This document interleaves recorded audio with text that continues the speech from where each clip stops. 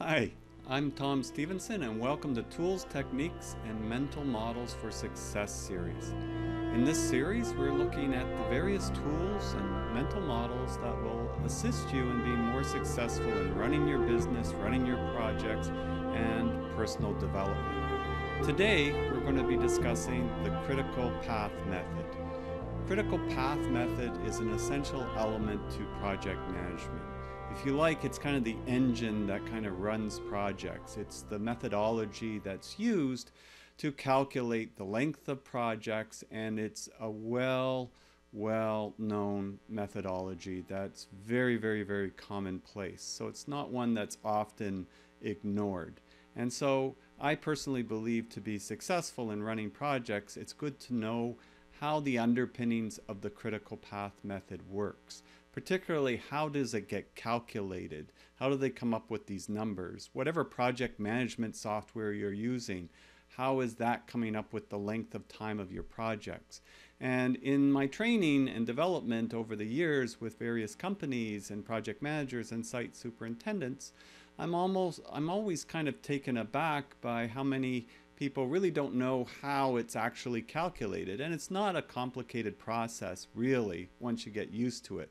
It's not that you're ever really going to sit down and calculate it by hand, but whatever software system that you're using to make the connections, it's doing the calculations in the background. And if you really don't know how the calculations are being made, it's very easy to make a mistake and not recognize the mistake is there.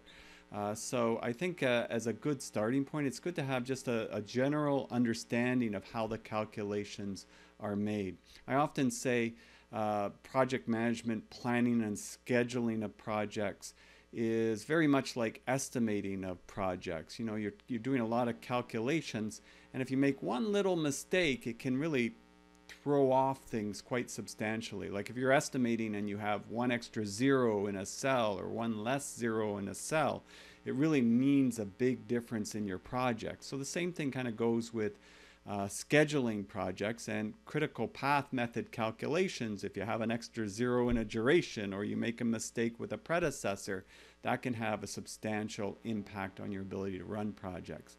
And this is part one of a series that we'll talk about with the critical path, uh, how, how it's actually uh, calculated, what it is, and others in the series of, well, how does that convert to like a Gantt chart or a bar chart? And then, well, what does that really mean? Because everything changes all the time. And so what does that mean with updating our, our projects and we're learning where we're at? And then what does that mean with getting ourselves back on track so that we can drive ourselves towards our original goals or communicate if we can't reach those goals uh, in the expected time that we originally understood that to be. So there's actually a whole wealth of information that's involved in this. But I think a good starting point today is just to get a, a handle on what the critical path is all about. And if you're just starting to learn about project management, this is a pretty good introduction to how it's actually calculated. So just to give you a little bit of a historical context, um, the timeline of project management, you know, projects have big mammoth projects go back thousands of years. You know, the pyramids uh, were built uh, more than 4,600 years ago. Of course, they weren't using modern uh, project management processes and they weren't under as tight a timeline typically as a lot of our projects are today. And of course, when we talk about uh, some of the constraints, uh, you know, goals uh, as far as safety were concerned were not very commonplace and unfortunately uh, a lot of moral and ethical issues would have been involved as well um, during those time periods that we uh, avoid uh, today and that we take care to ensure that we're meeting all of the government regulatory requirements. Um, a more recent uh, project, although not that recent, goes back to the Great Depression and it would be a good example is the Hoover Dam. If you ever get a chance to go out uh, to Las Vegas. There's usually day trips that you can take from Las Vegas out to the Hoover Dam. I took this trip uh, a little while ago, and it's quite the um, experience uh, going through the Hoover Dam and the process that they went into building it. But even the Hoover Dam, it didn't use the critical path method to sort of develop the schedule for it. It was under very tight timelines that used what we call Gantt charts, or what you'd better known as bar charts, uh, as the, the foundation. I think if you search online, you can probably find some of the original bar charts for the Hoover Dam. And so at that time, it was considered one of the seven wonders of the world. Uh, Mammoth project built during the Depression uh, using government money to try to get people to work, but also to have a great foundation in being able to um, conserve and redirect water and at the same time produce energy um, through hydroelectric uh, power generation. So um, Mammoth project, very interesting project, uh, developed uh, using bar charts uh, from that perspective. Was not very safe either. We hadn't progressed that much uh, even in that time. I think um, uh, the non-official deaths on the project was well over 400 people uh, on that project, uh, actually building it that um, perished. Uh, I think the official number at the time was much lower, but um, that's uh, more um, the way that they were reporting things. Um, so you wouldn't be able to do that today, not in North America anyways, and uh, get away with that uh, from that perspective. So we have to run our projects much more safe, safely and there's a lot more uh, technology available to us today. So the critical path method was actually wasn't developed till the 1950s. So you know, a good 20 years or more after the Hoover Dam was built. Um, there was kind of two methodologies that were kind of developed almost at the same time. One is PERT, uh, Program Evaluation Review Technique, uh, very interesting uh, scheduling network uh, format that sort of puts in some factors, excuse me, uh, factors regarding um, likelihood or possibility, so the most optimistic and pessimistic views. We'll talk about that one in another session, but focusing in on the critical path, which is the network diagram methodology of uh, developing the longest path through the project. So it's connecting all of the activities that are involved in the project, uh, connecting to them together to form a network. So that means, you know, what must happen for me to start the next activity? Uh, so if I'm in the next activity, what must have been completed? So looking back, what would be the predecessor? Or having completed the, that activity, what would be the successor? What comes next? What can I do at the same time? Can I have activities that uh, wait a period of time? Maybe I've got something to wait for in between one activity or another? Or can I have activities overlap each other? So we put them all together in this network. And that whole process of putting together the network, which involves a number of factors more than we'll discuss today, uh, is putting together the critical path. Because if we figure out all the activities we need to do for the project, and we gather up durations of how long they're going to take, and we put them in the proper sequencing or schedule logic, as we would use the terminology, then at the end of that, we should be able to tell how long our project is going to take. And some activities in that network, if they take longer, our project will take longer. Notice I said some activities, not all activities. Some activities will have what we call float or slack. That means they've got some flexibility before they start to push the project date longer. And what's helpful with that is if we have all that information, then we can see when things change on our projects because no matter what, things will change on our projects. And I think in one of our earlier uh, videos, we mentioned uh, Eisenhower and uh, the Eisenhower matrix, but he also has that phrase which is plans are nothing, planning is everything, which means things change and we have to be able to redevelop and be agile and be able to change our plans so that we can reconfigure them to get ourselves back on track. Well, if we developed a network, we can see when something is delayed, is that going to impact our project? If it's got lots of float, maybe it won't impact our project. But if it's on the critical path, we know it will. And so once that happens, then we can start thinking about, all right, well, that's already delayed us. Then how do we get the time back? And we'll look at that in one of the uh, further parts. But for now, as I said, we want to focus in on how is the actual critical path um, calculated. And as I mentioned, it's the long, just keep thinking it's the longest path through this complete network of activities that you put into place. And if it, an activity on the critical path takes longer, the project will take longer. If an activity on the critical path is shorter, the project may be shorter because you could have two critical paths. So you shorten one, it doesn't necessarily shorten your project. If you only have one critical path, it would shorten your project up until something else becomes critical. Uh, so you don't always win when you shorten one single critical path, depends how the project is laid out. But if you understand how critical paths are developed and how they're calculated, it helps you to be able to understand how your project is going. So I've got in these next two or three slides a bunch of information here and you know this being uh, YouTube you can always just sort of freeze your screen and if you want to read through that you can kind of uh, get a, a good idea of it. To be sure we want to have a work breakdown structure. And we'll talk about that in another uh, session. A work breakdown structure is taking a very large project and breaking it down into sections. It helps us to ensure that we don't miss key areas of work. Uh, and from the lowest level, once you got the, the headings, the areas of work, so like in a construction project, you might have the overall project and then you might have uh, pre-construction work, construction work as an example of headings, and in pre-construction you'd have under that all the things you need to do to get ready for the construction. And under construction, of course, we'd have the construction work, and under construction we might have things like substructure and superstructure and exterior envelope and building systems. So we would be breaking it down into smaller and smaller components until we actually get it all the way down to the lowest level of activities. So WBS helps to make sure we don't miss stuff. At the lowest level of activities, that's where the network is really formed. Activities to activities. I got to finish this before I start that. You know, it's sort of right down at the lowest level. That's where the actual network is is taking place. And number point number three, I got draw a diagram. Well, when you're using a software program, you don't have to draw a diagram. And as I mentioned from the historical aspect of um, you know, Remington Rand and how basically the critical path was uh, developed. Also, a Polaris missile project, I believe, was one of the earlier uh, critical path uh, projects. Um, it was really developed because these are mammoth projects and they're requiring thousands and thousands of activities. And how are we going to track this and have any idea what we're doing?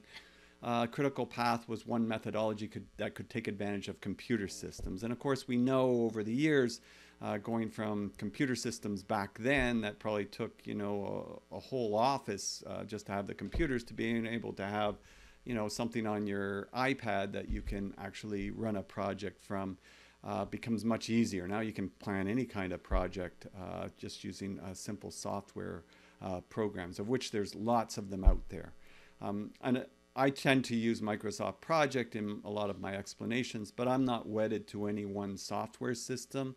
Eh, they're kind of the engine that's running it. So scheduling is scheduling. It's just trying to understand what the so a particular software system can do for you. But the fundamentals we're talking about today doesn't really matter if it's Microsoft Project, uh, Primavera P6, uh, Merlin, a whole host of other different uh, kind of scheduling softwares that are out there or soon to be out there.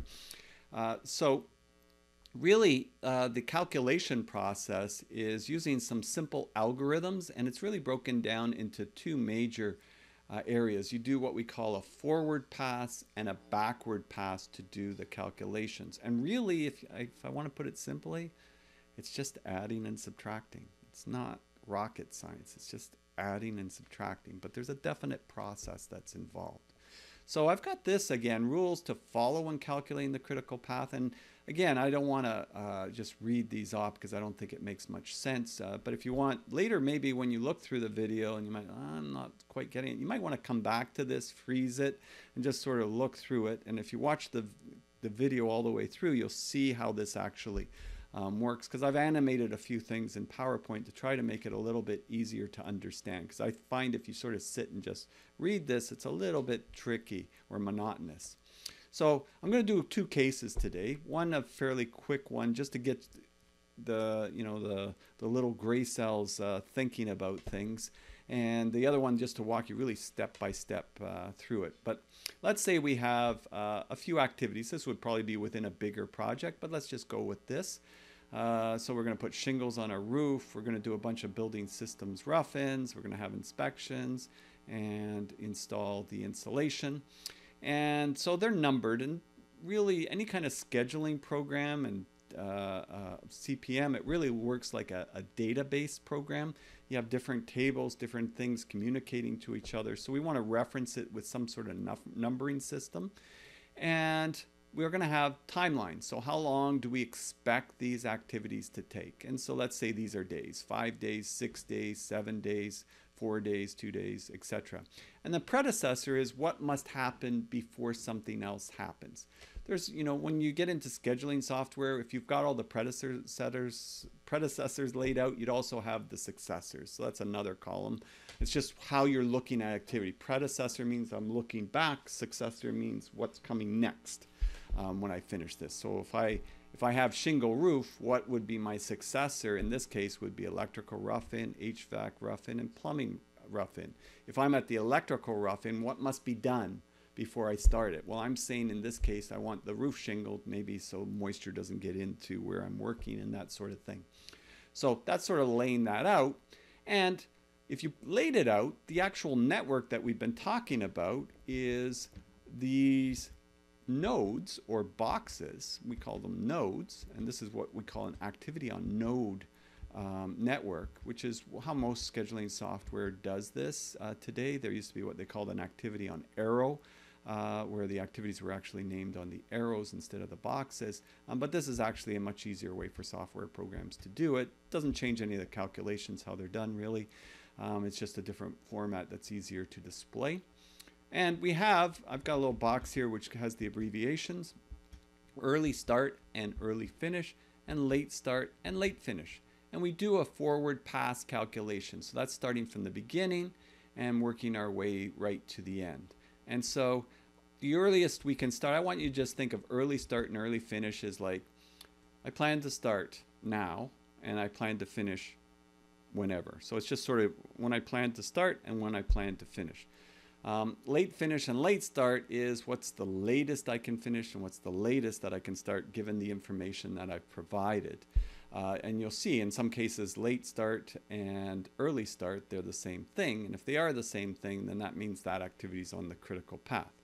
Um, so uh, but the way the software works is it has to do the forward forward pass before it does the backward pass. So that means you start at the beginning, you work your way to the end. So you start here and you work your way through the network to get at the end of the project.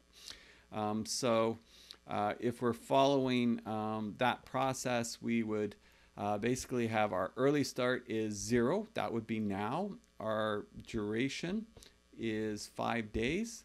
And so 0 plus 5 is 5. That would be our early finish. And then our early finish becomes the early start. And when you have activities that diverge out, then it's pretty easy. We just plug in the 5 into all three of them. And then we continue. We do the addition. 5 plus 6. So early start plus duration equals early finish.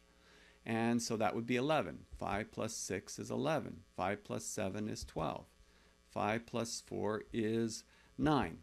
Now, all three of these activities are merging in here. So that means that for inspections, we have electrical rough-in, HVAC rough-in, and plumbing rough-in as predecessors, right? So um, when they merge in, we got to decide which number do we take of the early finishes. Well, we're saying that in this case, we're saying that all of these need to be done before we start inspections. That may or may not be true in the real world, but the way I've laid it out here is that they all have to be done before we start inspections. So um, we would take then, well, what do you think it would be? Just think about that. Which one would you go for? I've got to have them all done. So this is saying it would have to be, this is going to finish at the end of day 11 this is going to finish at day the end of day 12 and this is going to finish at the day, end of day 9 so we would have to go with the longest one which would be 12 so 12 goes into there. Then we have uh, 12 plus 2 is 14 early finish here that becomes the early start over there. 14 plus 4 gives us 18 that means this project is going to take 18 days to complete following the way we plan this to be okay so that's following the forward pass. The backward pass, now we just go from the end and we work our way backwards. So going forward was a lot of addition. Going backward is just subtraction. So we're going to take our late finish minus 4. That gives us our late start, which is 14. So now we know that we're basically our late start is 14. This late start is going to move over here. Late start becomes the late finish working backwards. 14 minus 2 is going to give us 12. And now when they again diverge outward, that means we can take that 12 and we can plug it in here, here, and here. So that 12 goes moves over to there. 12 minus 4 is going to be 8. 12 minus 7 is going to be uh, 5. And 12 minus 6 is going to be 6. So we're now at this stage. And if we want to go backwards, well, then the simple thing for us to do is to look at the smallest number. Remember when we went forward and they merged together? We went with the larger number. Now we're going in reverse, so we use the smaller number. So in this particular case, we're going to be using the number 5 because it is the smallest number. And 5 minus 5 equals 0 it has to equal zero or we made a mistake. So if we went all the way forward and we went back and we ended up with, I don't know, three, somewhere we've made a mistake. So if you've done everything right, it would be at zero at the end. And the next step would then be to calculate the float for each activity. So if we subtract um, the early finish from the late finish and we would have 5 uh, minus 5, that would give us zero float here. 12 minus 11 would give us 1, or 6 minus 5. So you can subtract the starts or the finishes, but it should give you the same number. If it doesn't for some reason, you made a mistake uh, somewhere along the line.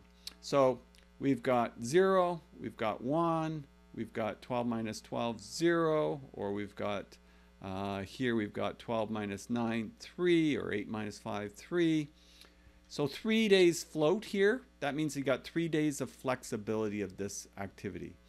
You go over here and kind of looking at it, you kind of know intuitively then this should be on the critical path, this should be on the critical path because there's not other things going on at the same time the bigger your project is, the more things you have going simultaneously, the more balls you have in the air. This way you can sort of see where you've got flexibility. That's the beauty of having the critical path.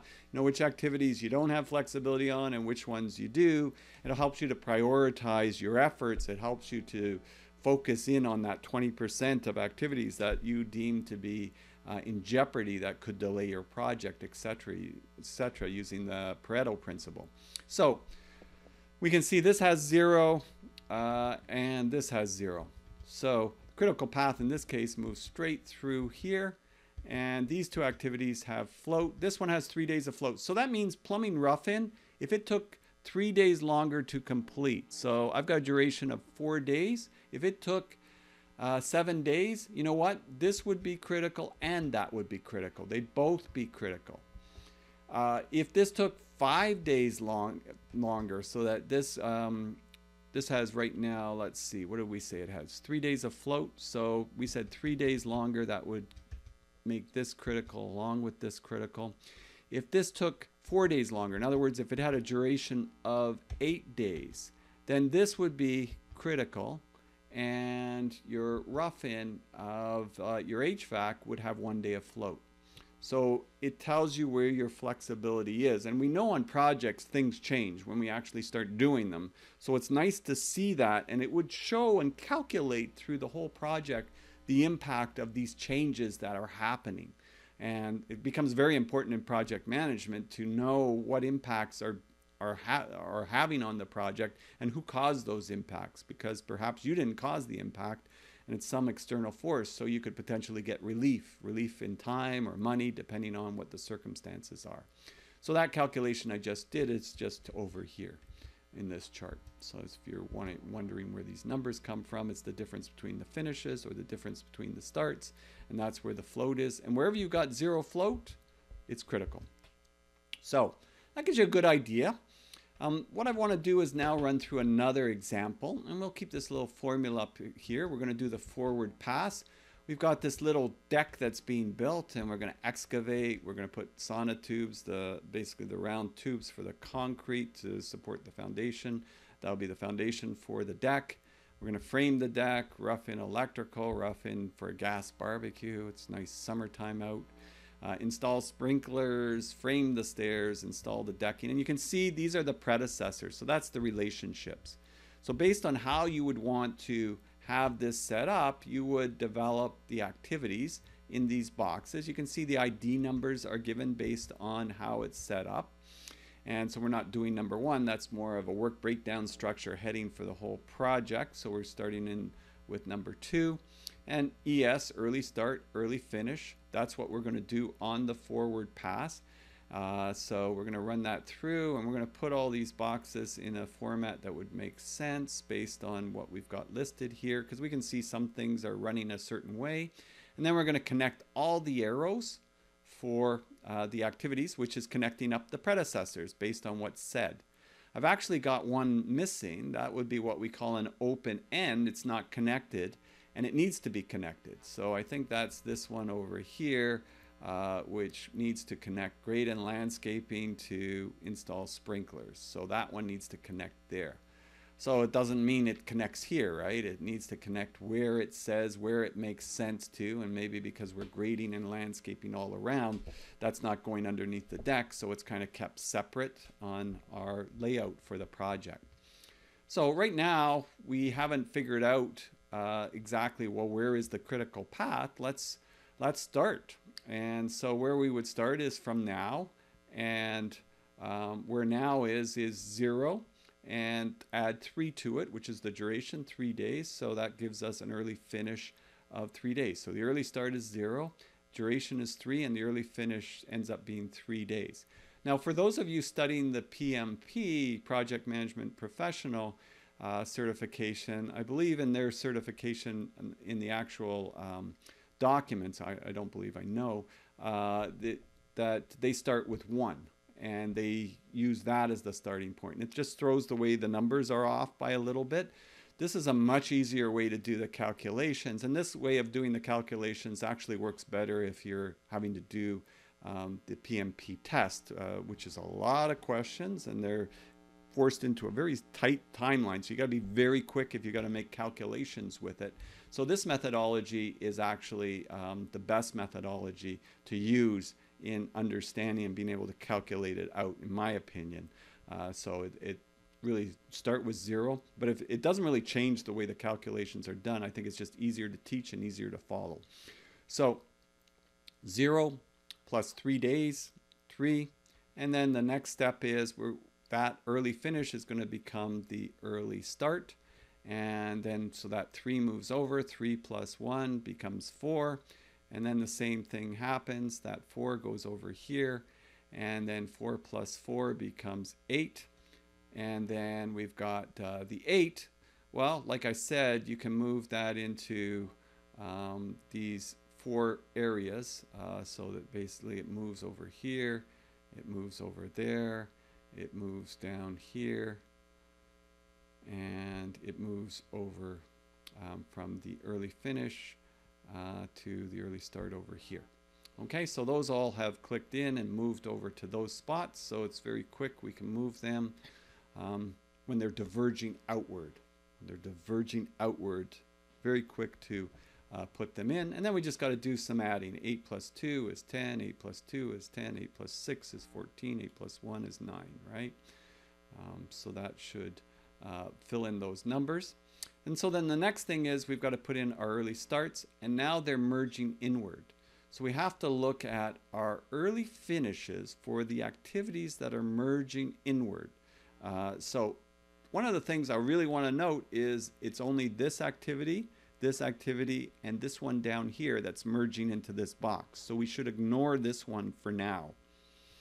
All right, so uh, that means if we look at this, we've got an early finish of 10, we've got an early finish of 10, and we got an early finish of 9. So in this case, we should use the number um, 10, which will take us over there.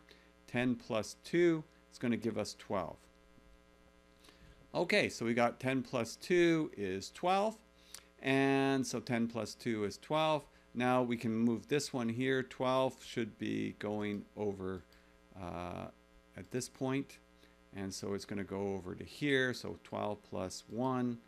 Um, sorry, we're going to have 12. And then we're going to go 12 plus 1 is going to give us our early finish. And so we've got 13. And now we got to come back and we got to look at this one because now this is merging into, we've got our uh, sprinklers and we've got our install railing and they're moving into the, the grade and landscaping activity. So in this particular case, we are going to um, take the larger number and the larger number in this particular case is 14. So of those two, 13 and 14, 14 was the larger number. 14 plus 5 is going to give us 19 and then 19 is going to come over here and we're going to have 19 this is a milestone which is basically just saying it's finished so 19 plus 0 it's going to be 19 so we know our project now is going to take 19 days to complete 19 working days to complete and so that means that when we get over here, these two will be plugged in at 19.2. This is for sure on the critical path. The last activity will be on the critical path. That's a for sure. And then we can do our backward pass. And the backward pass is just working our way backwards. So we're now taking late start. That's going to become the late finish.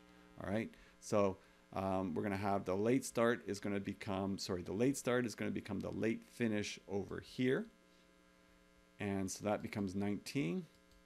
And then we're going to do some subtracting. 19 minus 5, that's going to give us 14. So our late finish minus our duration gives us our late start. Late finish minus duration gives us our late start.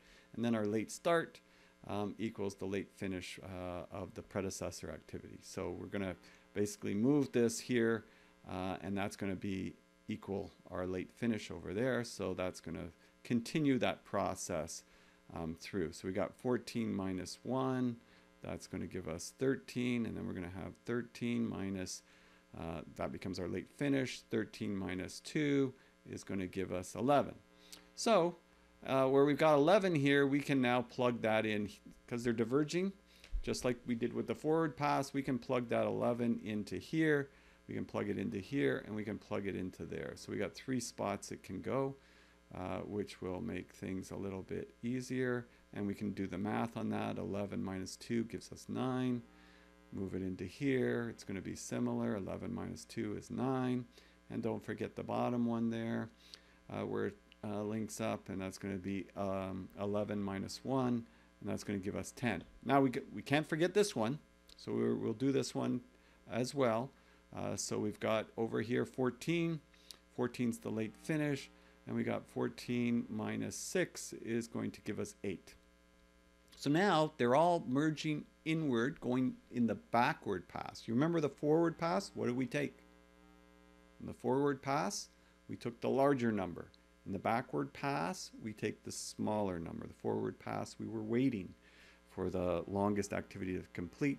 This reverses itself when we do the backward pass. So we have to look up through here and we have to see um, when we're looking through here uh, of the activities, which one that we're going to take. We're going to take the smaller number. So we've got 9, 9, we've got 8, and we've got 10. So we're going to take the 8. The smaller number, 8 minus 4, that's going to give us 4. 4 is going to move into late finish. 4 minus 1 is going to give us 3. The 3 is going to move over here and 3 minus 3 is going to give us 0. All right, so we've just done the calculation of the forward pass, the backward pass. It did equal 0. If it didn't equal 0, we would have a problem. It does equal 0, so we did it correctly. Uh, so now what we'd want to do is figure out, well, what is the critical path in this example?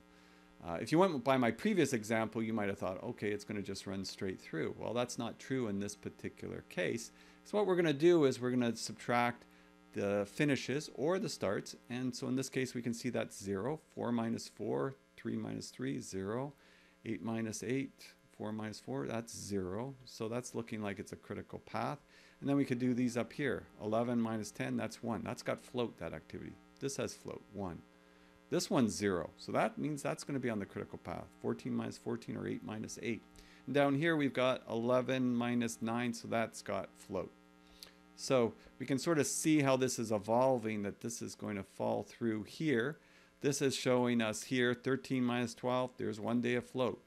One day of float, and then we check this out here, zero float, zero float. So looking at this, the critical path is going to follow along here, and it's going to go up, and it's going to follow along there. So if we follow that through, we can see the floats being put in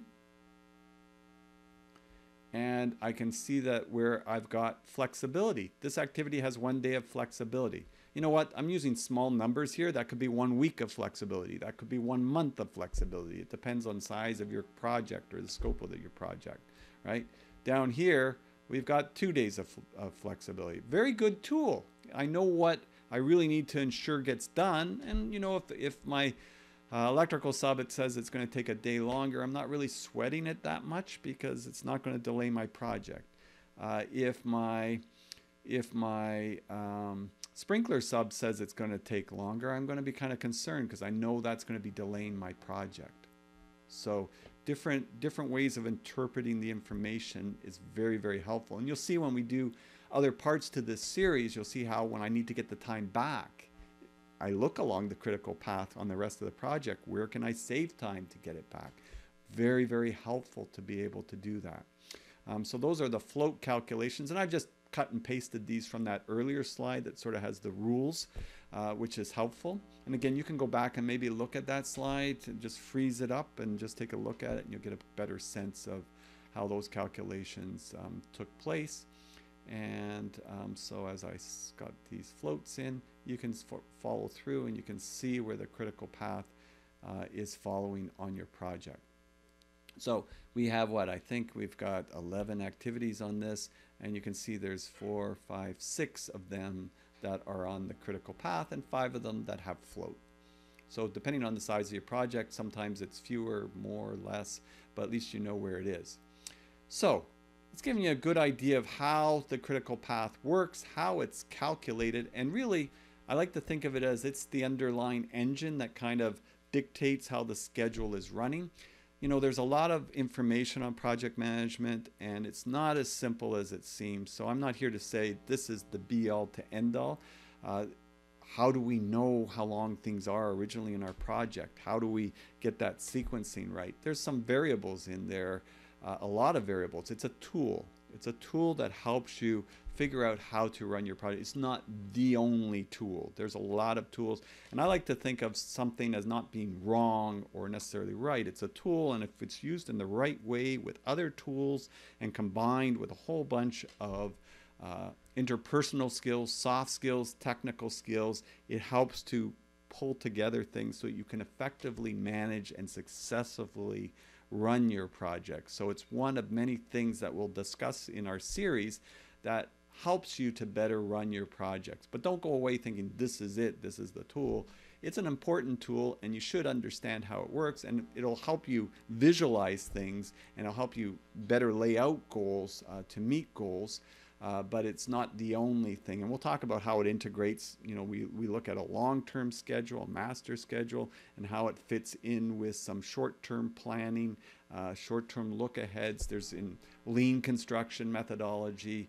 Uh, there's what we call the last planner and daily scheduling and daily huddles and weekly and monthly and how these all integrate together in future sessions. Because I think if you start to get a better picture and understanding how there's flex and how you can move towards things, it will help you to be more successful. In part two of this series, I want to get into um, the bar chart. Most people that do any kind of project management are pretty familiar with the bar chart and it shows the critical path. In this particular case, it's in red. I just did this quickly up based on that little schematic that I did earlier. Uh, and if you uh, see it in Microsoft Project, uh, it'll show you um, start, finish, late start, late finish. Well, start and finish, that's your forward pass. Late start, late finish, that's your backward pass. And slack, that's the same as float, and that's the difference in dates. So if you actually take some time and you look at this, these time periods are exactly the same as the float that was just calculated. And that's how the scheduling software does it. It calculates it the same way. Um, so, for example, uh, this is uh, Thursday uh, for the late finish here, and for the finish um, uh, over here, that's Wednesday. That's one working day difference. This is two working days difference, so that's why it's going to Tuesday. It's just the same, it's just it's using dates. I was just using durations with it. Schedules is when we get into actually using dates uh, and scheduling dates. Planning is where we're kind of looking at all the things that we need to do and we're trying to gather a plan and trying to figure out our best approach to it. Schedule, you're actually putting dates and commitments to it.